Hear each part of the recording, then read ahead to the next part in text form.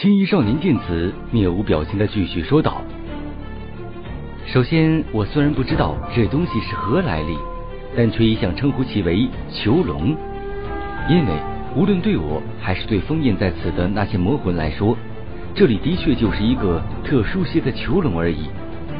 而我给你的忠告就是：一是尽一切的可能快速的提升自己的法力修为；二是尽多的去寻找一些真魔之气。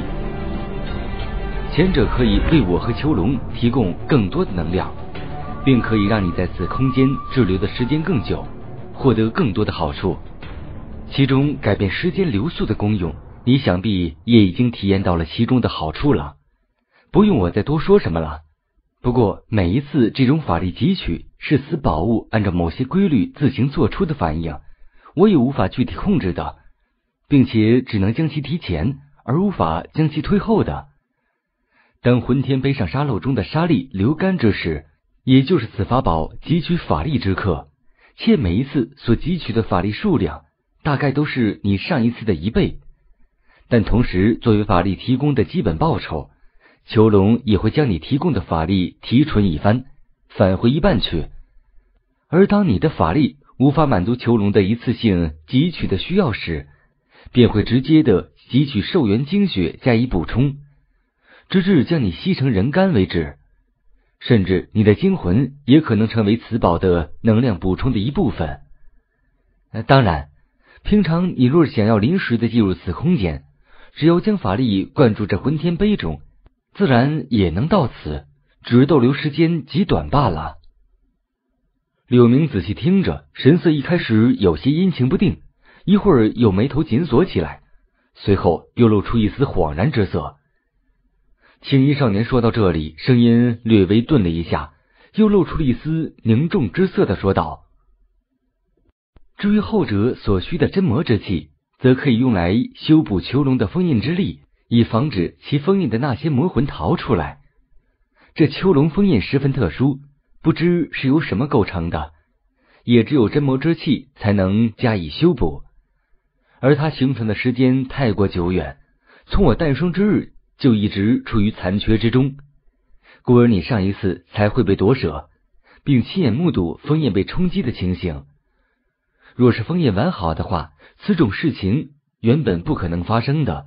而做此事的，只是这里被封印某魔魂的几缕分念而已。此魔魂主魂还一直被镇压在封印最深处，无法动弹。不过因为你数次努力，封印现在已经被修补了一小部分。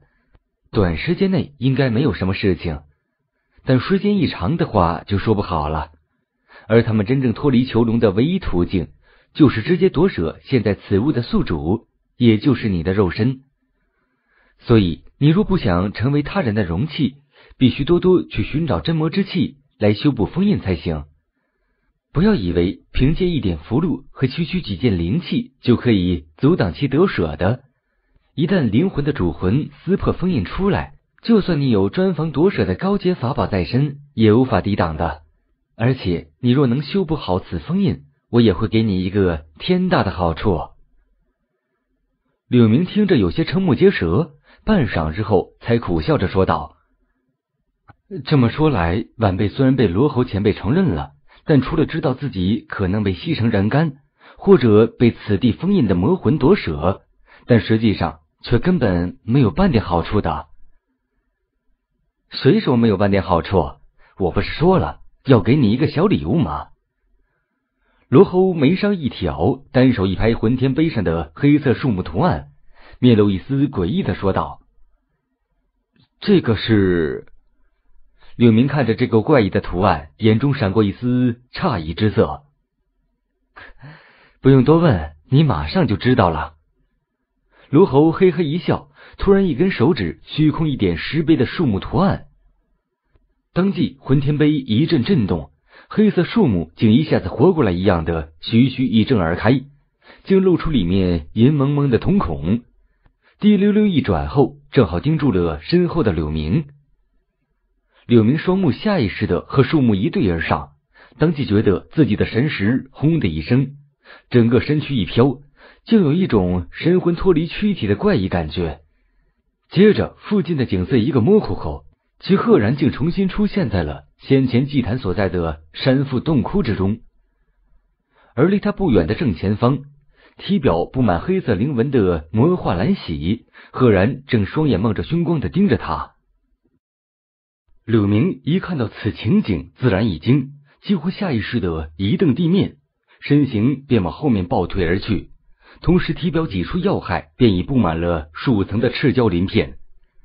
而与此同时，魔幻蓝喜骤然身形一个模糊，下一刻鬼魅般的出现在自己面前，单手一抬，唰的一道黑芒闪过，一个布满黑色灵纹的魔爪便往胸前狠狠插下。其动作快若闪电一般，身处半空之中的柳明虽然心觉不妙，但双手却完全跟不上对方的动作，只能仓促间将胸口的鳞片又加厚了几层。砰的一声巨响，柳明胸口一疼，仿佛被一股庞然巨力强行推出去一般。原本后退的身形，在这一击之下，更加是倒飞出了数十丈远，并直直撞在了后方的岩壁之上。使得岩壁之上又多出了一个尺许深的人形凹坑来，他竟然被硬生生的嵌入其中，并被巨力震得一阵头晕目眩，胸口处一片血肉模糊，一时间根本无法动弹分毫。结果还未等柳明定了定心神，刚想要一爬而起，眼前黑影一闪，魔化蓝喜的身影出现在了他的眼前。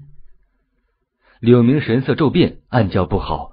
布满鳞片的单手刚刚抬起，想要抵挡一二，咔嚓一声，他只觉自己肩头一凉，一股难以忍受的剧痛传来。侧目一看之下，一条手臂竟已被魔幻蓝喜一抓之下，整个撕扯了下来，并随手往旁边一抛。他心中一沉，还没有多想，身前又砰的一声轻响传来，护体罡气瞬间被什么东西一击而破。一只布满黑纹的手掌如利刃一般，以迅雷不及掩耳的从其胸膛洞穿而入，并唰的一声拔了出来，带起一片血雾。柳明只觉胸口先是一阵剧痛，当即两眼一黑的陷入了黑暗中。他一惊之下，黑暗之中五色霞光再次一卷，神识再次嗡的一声之后，便睁开了双目的醒了过来。其赫然发现。自己竟仍然身处在那个神秘空间当中，而面前那石碑上的黑色树木正在缓缓的闭上，并最终恢复到了一道细缝的模样。站在石碑旁的青衣少年则淡淡的看着他，只是面色比先前略有一些苍白。柳眉伸出双手看了看，并摸了摸自己的胸口，微微一思量，便为之恍然。原来他刚才的那段惊心动魄的经历，赫然只是一场做梦般的幻觉而已。而这一切似乎便拜这浑天碑上的黑色树木所赐。柳明在幻境中的时间虽然只是短短的一瞬间，但在此期间与那魔幻蓝喜的交手过程却又真实无比。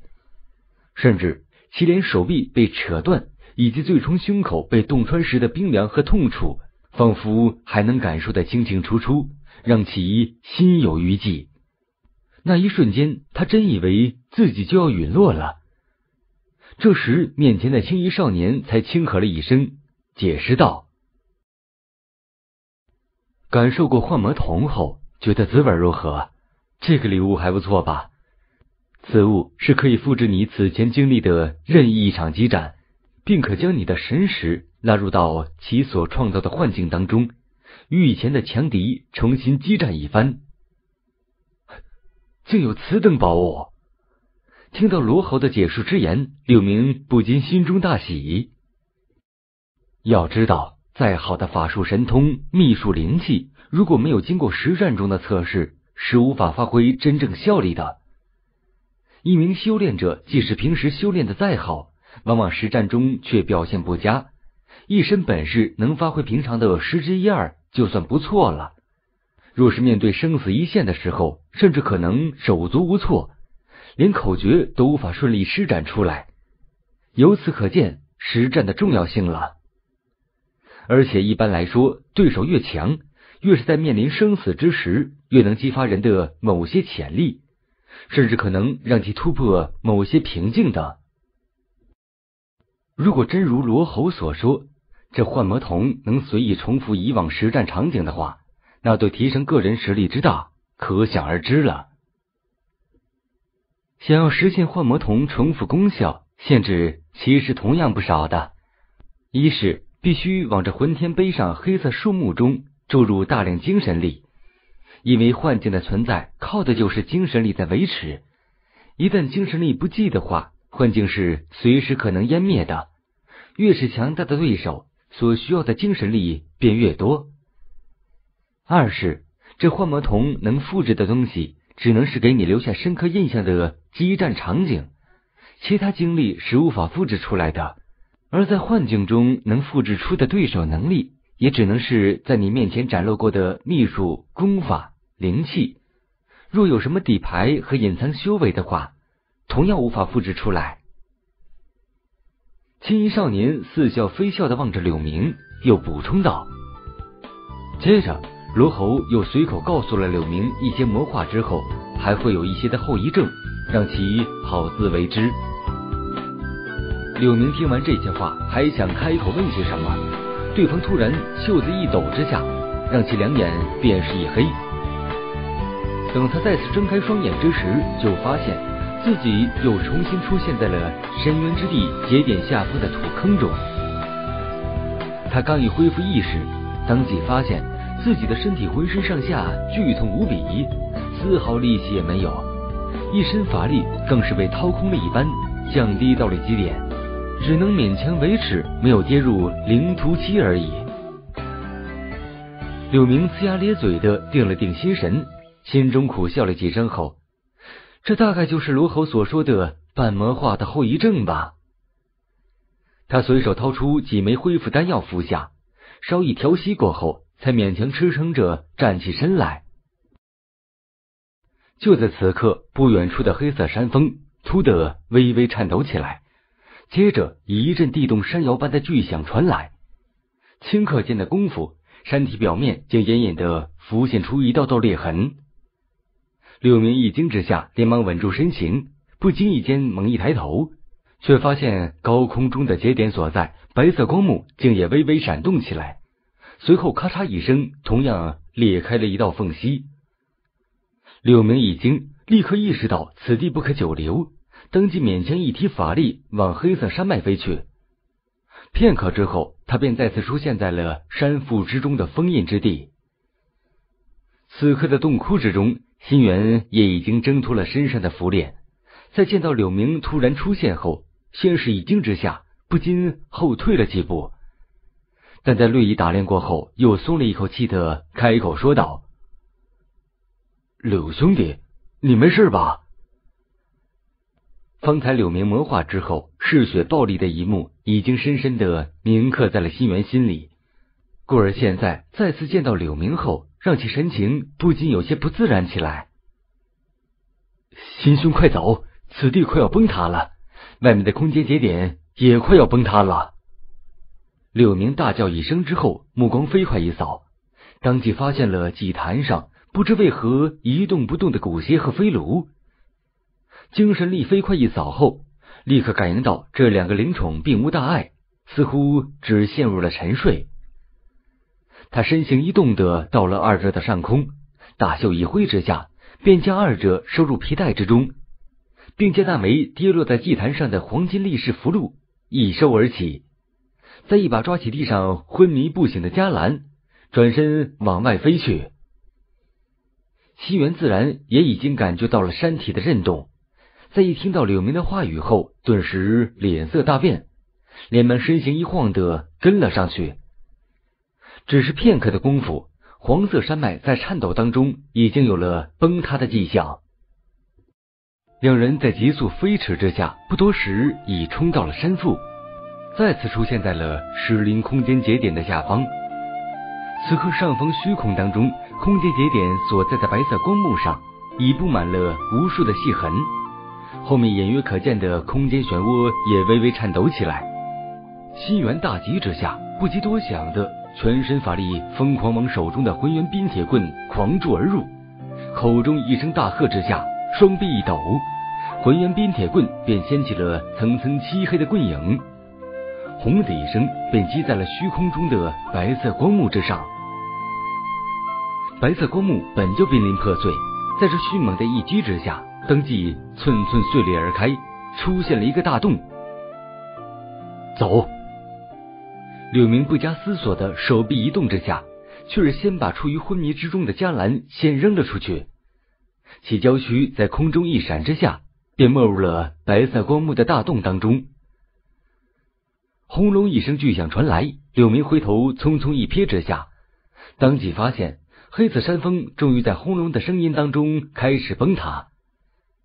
这封印巨魔之处，不知过了多少岁月，如今也走到了尽头。他深吸一口气后，就和心源同样不敢再做停留的飞身而起，便一闪的没入到了白色霞光之中。当即二人眼前光霞一阵闪过，并被一阵剧烈空间波动包裹，顿时感到一阵天旋地转起来。一处无名的翡翠山峰上空，忽地涌现出一片霞光，空间波动一起，两道人影便赫然出现在了半空当中。正是从石林之中逃离而出的柳明和心元。两人刚一出现，连忙稳住身体，便稳稳地落在了山峰之上。看着眼前的情景，回想这一路的经历之事，两人都长长的出了一口气，神色大为放松了下来。不管先前经历了何种凶险，他们终于还是逃了出来，总算彻底离开了那个海底矿脉呀！果然还是外面的空气闻起来舒服。新元深深的吸了一口气，满脸笑容的说道：“哎，是啊，咦，奇怪，嘉兰怎么不在这里？”